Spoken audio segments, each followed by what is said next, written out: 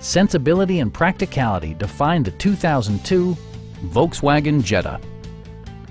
This four-door, five-passenger sedan provides exceptional value.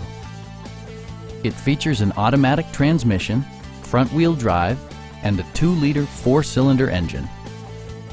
Top features include a split folding rear seat, a tachometer, speed-sensitive wipers, and remote keyless entry.